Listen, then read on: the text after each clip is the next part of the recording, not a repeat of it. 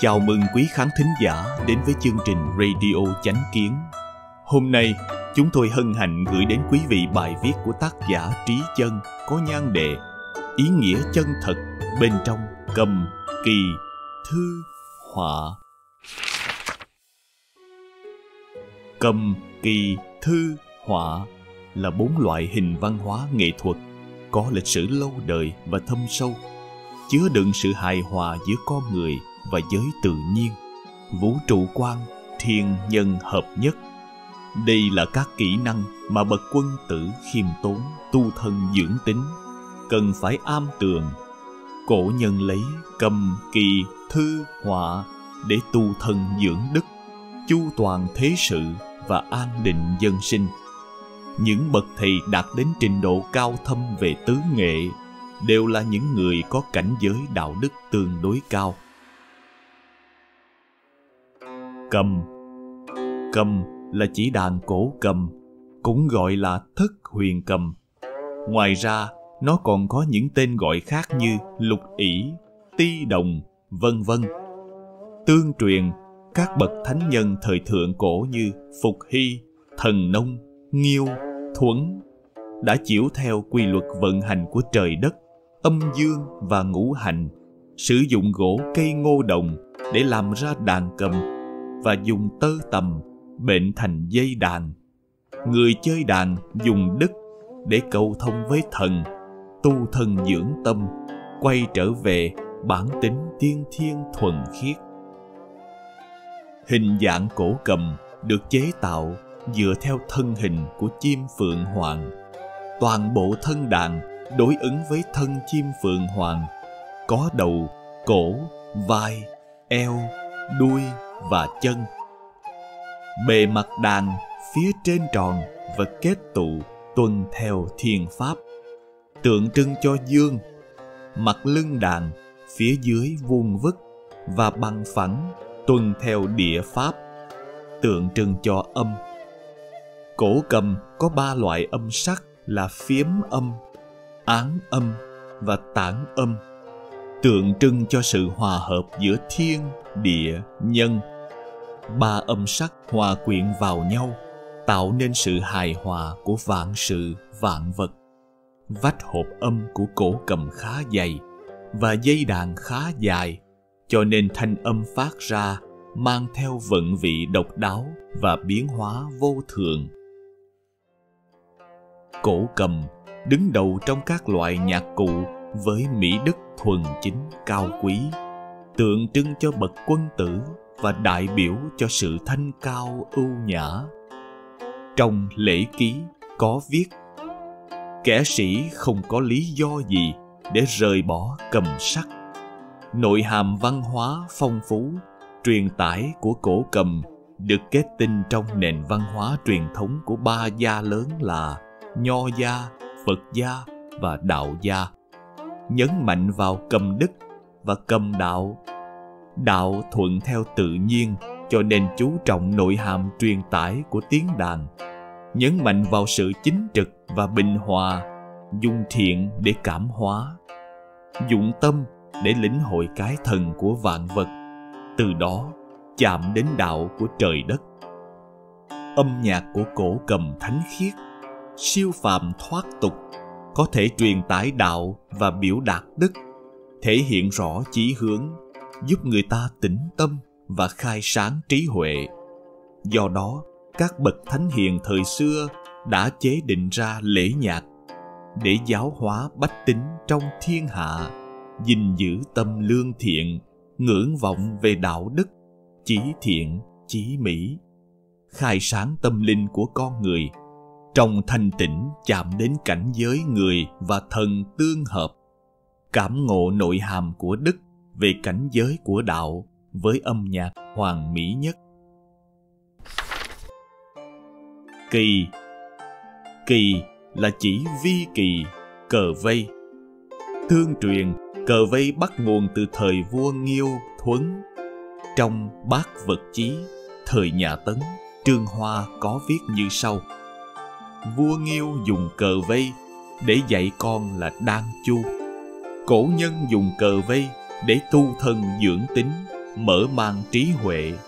Hơn nữa, cờ vây còn có mối quan hệ với dịch lý thiên tượng, sách lược binh pháp, an bang trị quốc, vân vân.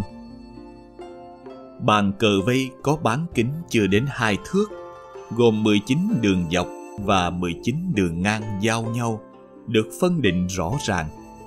361 quân cờ trắng đen trông như vô trật tự nhưng lại rất có trật tự, biến huyễn vô thường, bao hàm vạn sự vạn vật. Bàn cờ vây tượng trưng cho vũ trụ, điểm thiên nguyên ở giữa đại diện cho trung tâm của vũ trụ. Toàn bộ bàn cờ có 360 điểm khác đại diện cho 360 thiên thể khác nhau. Con số 360 này vừa khớp với 360 ngày theo âm lịch. Bốn góc của bàn cờ tượng trưng cho bốn mùa xuân, hạ, thu, đông. Những quân cờ trắng đen tượng trưng cho sự thay đổi luân phiên giữa ngày và đêm. Cờ vây thể hiện trí huệ hàm chứa trong văn hóa truyền thống Trung Quốc. Luật chơi đơn giản nhưng biến hóa vô cùng. Bàn cờ vây chứa đựng không gian hữu hạn cho đến không gian vô hạn trong lịch sử có nhiều nhà tiên tri như Gia Cát Lượng thời Tam Quốc từng viết trong Vi Kỳ Ca như sau Trời tựa như cái lọng tròn, đất tựa như bàn cờ vây. Đời người muôn màu muôn vẻ cũng như một ván cờ. Gia Cát Lượng quan sát vạn sự vạn vật nơi thế gian, giác ngộ thiên tượng biến hóa. Ông cho rằng những chuyện xảy ra ở thế gian cũng giống như việc cầm quân cờ lên hay bỏ quân cờ xuống. Từ đó thể hiện ra phong thái siêu nhiên thoát tục của bậc trí giả. Đời người giống như một ván cờ. Ván cờ cũng giống như cuộc đời con người. Người ta có thể bỏ lượt chơi cờ, nhưng không thể dừng bước trong kiếp nhân sinh. Bởi lẽ từ khi sinh ra trên thế gian, con người đã đặt chân vào ván cờ này. Khi một ván cờ kết thúc, lại có ván cờ khác bày ra.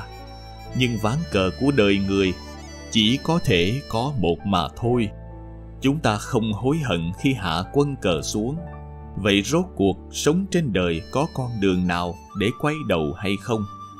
Đạo lý của cờ vây giúp chúng ta nhìn rõ toàn bộ cục diện với tầm nhìn cao rộng, tìm kiếm nhân duyên của bản thân mình, tìm kiếm con đường lớn quang minh để hướng tới tương lai tốt đẹp. Và bước đi cho tốt con đường nhân sinh thì mới có kết cục hoàn mỹ. Thư.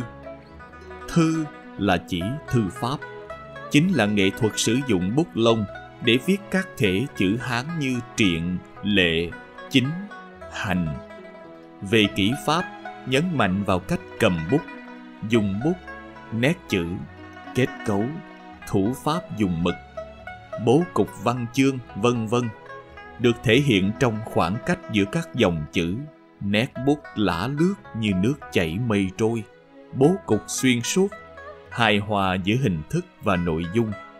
Tất cả những yếu tố này tạo nên vẻ đẹp hoàn mỹ trong nghệ thuật thư pháp. Mỗi một kiểu chữ mang theo phong thái khác nhau với nét đẹp ưu nhã, nhẹ nhàng, lả lướt.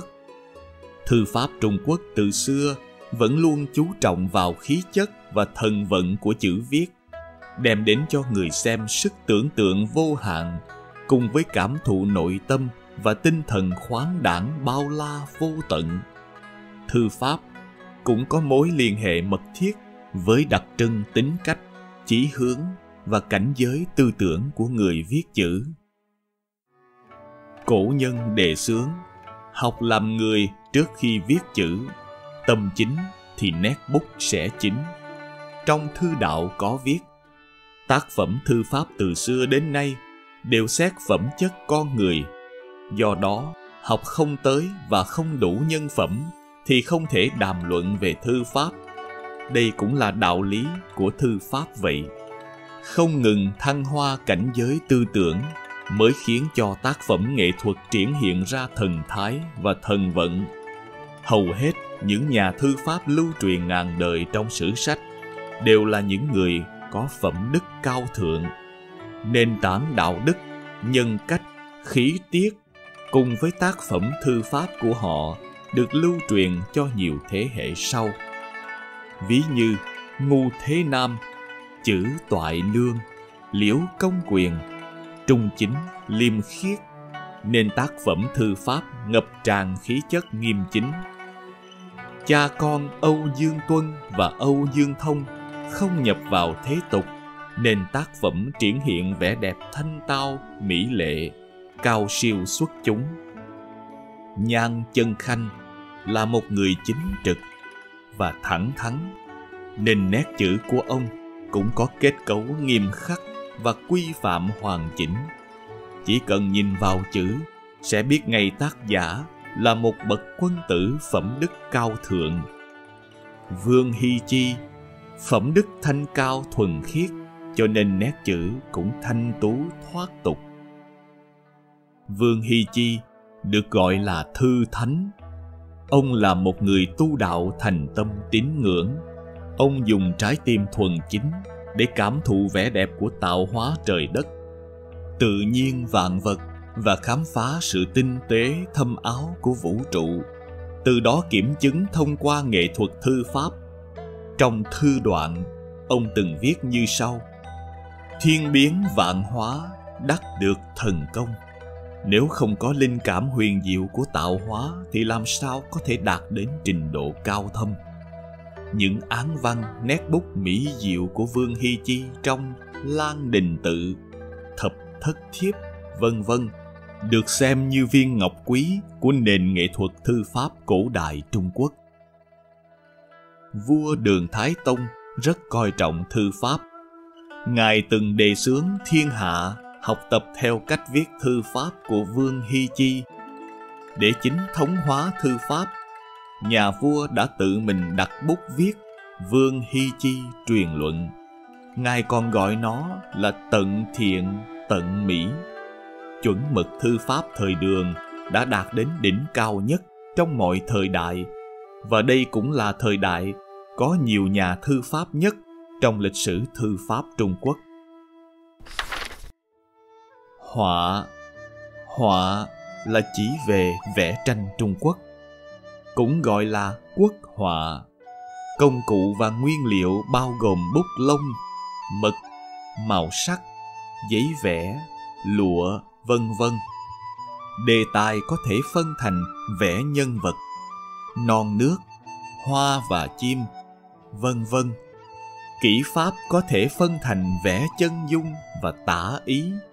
Vẽ tranh cũng giống như thư pháp, nhấn mạnh về công phu dùng bút và mực. Sự nhanh chậm, nặng nhẹ khi chấm bút lông vào mực sẽ tạo nên những đường nét biến hóa khác nhau như cương trực, nhu hòa, nghiêm chỉnh, siêu phàm thoát tục, vân vân. Ngoài ra, mức độ đậm nhạt của mực vẽ cũng thể hiện ra vận luật tinh tế với trăm loại hình thái khác nhau. Họa yêu cầu phải có thần thái và ý cảnh. Họa sĩ cần phải đạt đến mức đắc tâm ứng thủ, ý đáo, bút tùy, nghĩa là trong tâm nghĩ đến thứ gì thì tay liền vẽ ra thứ ấy. Yêu cầu bức họa phải sinh động, truyền tải được cái thần sinh ra ý vị và thi vị bao la vô tận. Họa còn yêu cầu nghiêm khắc về sự hàm súc. Chỉ cần trong tâm có sự tương hợp tình ý, thì có thể lĩnh ngộ ý cảnh. Có tác phẩm thể hiện khung cảnh thần thánh quang minh thần phật trang nghiêm. Cũng có tác phẩm thể hiện cốt cách của những bậc chí sĩ nhân đức, ôm giữ hoài bão. Có tác phẩm tượng trưng cho bốn mùa có mai, lan, cúc, trúc, vân vân. Hội họa có sứ mệnh khơi dậy tín ngưỡng thần phật của con người, kiên trì giữ lấy phẩm đức, hướng thiện và hướng thượng. Cầm kỳ thư họa, tinh tế mỹ diệu, không gì có thể so sánh được. Giúp con người thời nay có thể lĩnh ngộ vận ý thâm sâu của văn hóa truyền thống. Kỳ thực, hết thảy các bộ môn nghệ thuật chính thống đều như vậy, đều bao hàm những đạo lý thâm sâu về vũ trụ nhân sinh, khai sáng cảm ngộ về ý nghĩa chân thực của đời người và nhân cách đạo đức lý tưởng hoàn mỹ, tìm kiếm đạo trời, truy cầu cảnh giới an tĩnh cao xa.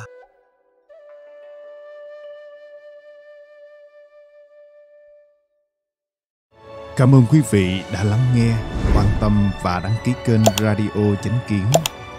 Chào tạm biệt và hẹn gặp lại quý khán thính giả trong chương trình lần sau. Kính chúc mọi điều bình an và tốt lành đến quý vị và người thân.